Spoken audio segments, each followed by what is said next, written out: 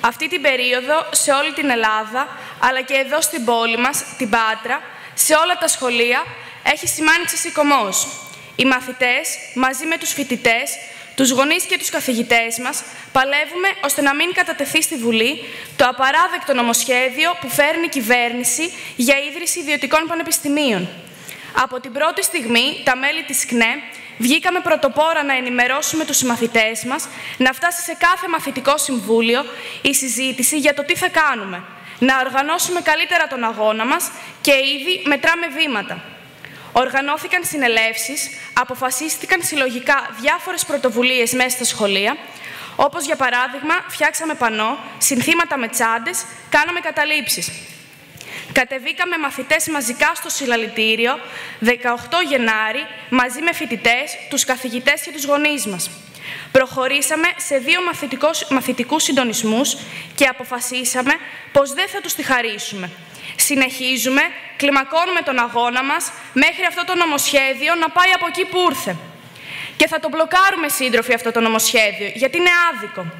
Είναι άδικο γιατί εμάς τους πολλούς θέλουν ορχωτικές εξετάσεις, πανελλαδικές, εθνικό απολυτήριο, ελάχιστη βάση εισαγωγής και τράπεζα θεμάτων.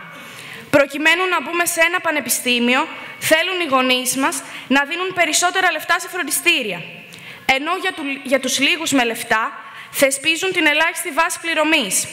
Αλήθεια, για ποια αναβάθμιση της δημόσιας παιδείας μας μιλάνε; Είδαμε πόσο βοήθησε η ύπαρξη ιδιωτικών νοσοκομείων, το δημόσιο σύστημα υγείας ή η ύπαρξη ιδιωτικών σχολείων και φροντιστηρίων, τα δημόσια σχολεία μας. Θα τους χαλάσουμε για άλλη μια φορά τα σχέδια, όπως όταν μπλοκάραμε με τους αγώνες μας τις περιορισμένες επιλογές στο μηχανογραφικό, όταν καθυστερήσαμε για δύο χρόνια την εφαρμογή της Τράπεζας Θεμάτων. Το μόνο τους χαρτί είναι η καταστολή, γιατί μας φοβούνται όταν είμαστε πολλοί και αποφασισμένοι. Γι' αυτό μας απειλούν με χαμένες εκδρομές, αποβολές, μέχρι η αστυνομία και οι εισαγγελείς στέλναν στα σχολεία μας.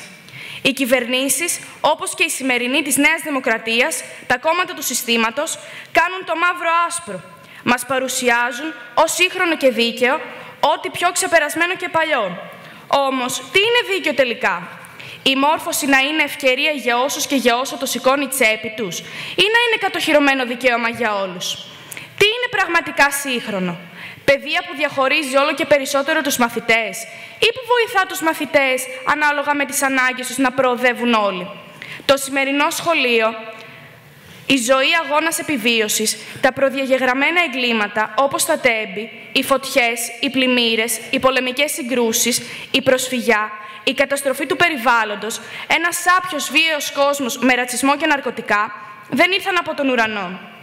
Ιδιαίτερα, εμάς τους μαθητές, το έγκλημα στα τέμπη μας συγκλώνησε. Το σύνθημα «Τα κέρδη τους» ή οι ζωές μας έχει μείνει χαραγμένο στο μυαλό μας, γιατί το βλέπουμε κάθε μέρα μπροστά μας, στις σπουδές μας. Το βλέπουν οι εργαζόμενοι και οι γονείς μας καθημερινά, εκεί που δουλεύουν. Έχουν όλα την ίδια αιτία, τον καπιταλισμό, το σάπιο σύστημα της εκμετάλλευσης που για τα κέρδη των λίγων τσακίζει τις ζωές των πολλών. Όμως, φίλες και φίλοι, σήμερα υπάρχουν όλες οι προϋποθέσεις για να ζούμε καλύτερα εμείς οι μαθητές και οι γονείς μας. Σε μια κοινωνία που ο άνθρωπος και οι ανάγκες του θα είναι στο επίκεντρό της. Μόνο μια τέτοια κοινωνία μπορεί να προσφέρει στους μαθητές ένα πραγματικά σύγχρονο σχολείο, με όλα τα απαραίτητα. Ένα σχολείο που δεν θα διαχωρίζει τους μαθητές ανάλογα με την τσέπη των γονιών τους, αλλά θα τα δίνει όλα σε όλους.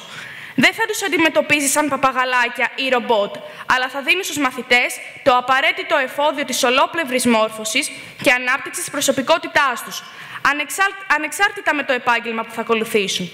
Για όλα αυτά παλεύει ΚΝΕ μέσα σε κάθε σχολείο, με σχέδιο, οργάνωση, πείσμα και διάρκεια. Παλεύει να γίνουν τα σκοτάδια λάμψη.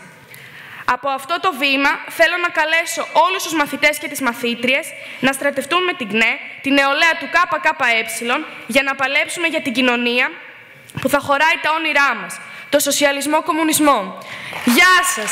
Θα συναντηθούμε ξανά αύριο Πέμπτη, 11.30 ώρα το πρωί, στο μεγάλο συλλαλητήριο ενάντια στο νομοσχέδιο της κυβέρνησης για τα ιδιωτικά πανεπιστήμια και τις αντιδραστικές αλλαγές στην παιδεία.